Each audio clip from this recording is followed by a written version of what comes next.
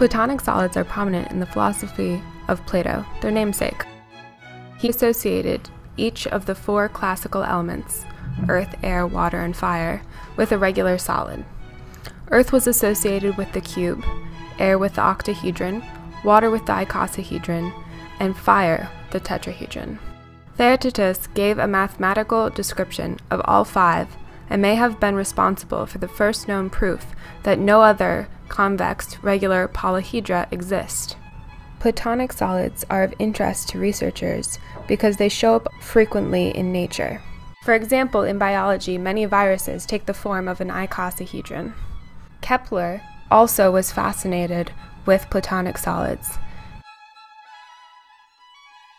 A polyhedron is a 3D object whose faces are polygons, and these faces intersect at what we call edges. When three or more edges intersect at these corners, they form vertices. A convex set is a set of points where if you draw between any two points in that set, that entire line segment will still be within that set. So non-convex set, or a concave set, is a set where this does not always happen. Take Pac-Man, for example. If you choose these two points and draw a line, that line is outside the Pac-Man region. And this idea of a convex set extends to three-dimensional objects, such as polyhedrons. Regular polyhedrons are made by piecing together congruent copies of the same regular polygon. So if you have a bunch of squares all of the same size, you can put them together to form a cube. Platonic solids are a special class of polyhedra that satisfy all our previous definitions. What makes a platonic solid unique is that its faces, edges, and corresponding angles are all congruent.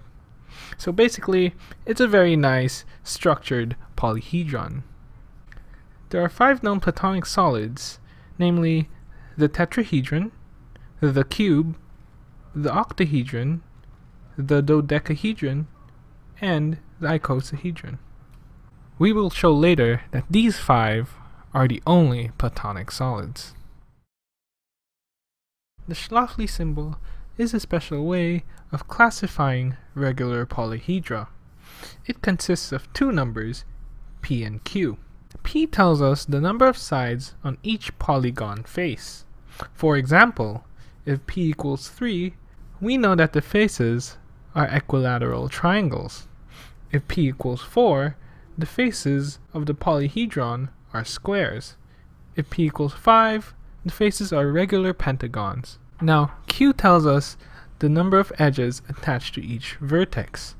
Notice that this is actually the same as the number of faces attached to each vertex. So we'll keep that in mind as we move on.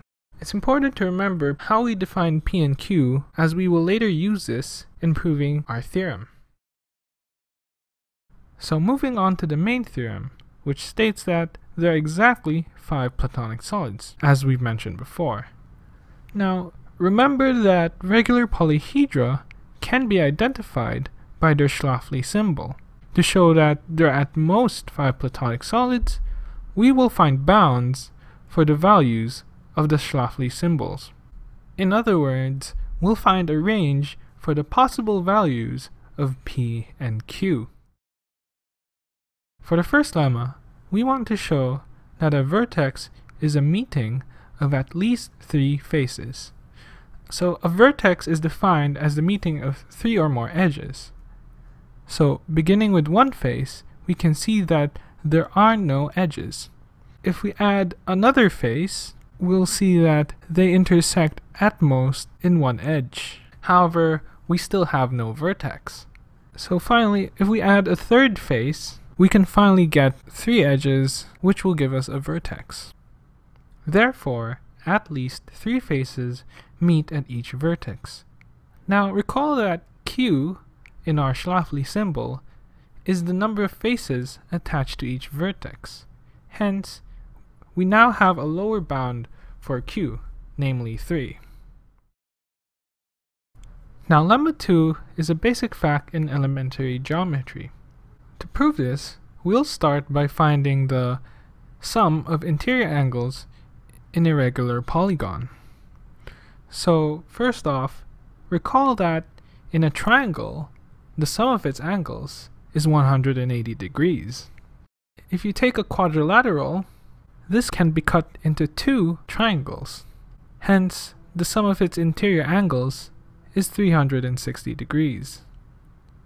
We'll show inductively that the interior angle sum of a regular polygon is n minus 2 times 180 degrees. So, given an n-sided polygon, notice that we can cut it into a triangle and an n minus 1 sided polygon. And so by induction, the interior angle sum of the n minus 1 sided polygon is n minus 3 times 180. And we know already that the interior angle sum of the triangle is 180. So adding these up gives us n minus 2 times 180. Therefore, by induction, the interior angle sum of an n-sided polygon is n minus 2 times 180 degrees.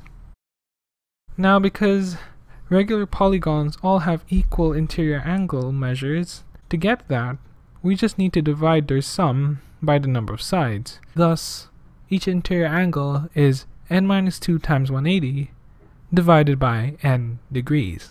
This will be useful later on when finding an upper bound for q. So putting them together, from our first lemma, we have that each vertex has to be contained in at least three faces. And this gives us a lower bound for q, which is the number of faces attached to each vertex. From our second lemma, we can find the interior angle measures of each polygon face. This is important because around each vertex, when you add up the interior angle measures, that sum should not exceed 360 nor reach 360. This is because if it's 360, that vertex will lie on a flat plane, and if it exceeds that, our polyhedron will no longer be convex. The interior angle measures of a regular triangle, square, and pentagon are 60, 90, and 108 respectively.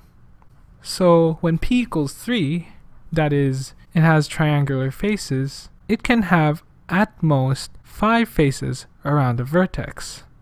This is because we don't want the sum to exceed 360. When p equals 4, or when the faces are squares, we can have at most 3 faces around each vertex, because 4 faces will give us a sum of 360. When p equals 5, the interior angles are 108, and so there can be at most three faces around a vertex. Now notice that for any regular polygon with six sides or more, its interior angles will be 120 degrees or greater. Hence, at most two of them can meet at a vertex to avoid concaveness or flatness. But this is impossible because from our first lemma, we know that there should be at least three faces around a vertex. So this eliminates values for p greater than 5. And so now for when p equals 3, there are only three possible values for q, namely q, q equals 3, q equals 4, or q equals 5. So when p equals 4, we know that the only possible value for q is 3. When p equals 5, the only possible value for q is also 3. Thus, the Schläfli symbol of a platonic solid must be one of these five. Therefore, there are, there are at most five different platonic solids. And since we know of five different platonic solids, there must be exactly these five platonic solids. The Schläfli symbols imply something very interesting about the platonic solids. Here we look at their duals. The duals is basically when we swap the faces for vertices, and the vertices for faces. There are many ways to construct the dual of a platonic solid.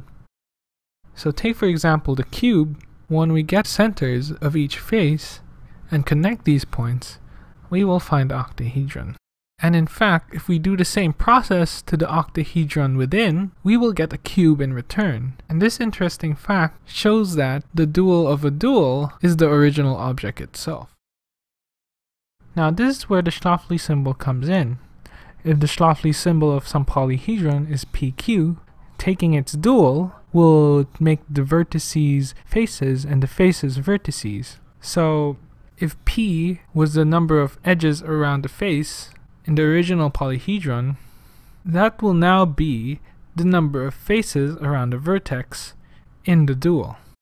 And in the same way, Q, which is originally the number of faces or edges around a vertex, that will now be the number of edges around a face, which is the same thing as the number of sides of each face. Therefore, if the Schläfli symbol of the original polyhedron was PQ, the Schläfli symbol of its dual will be QP.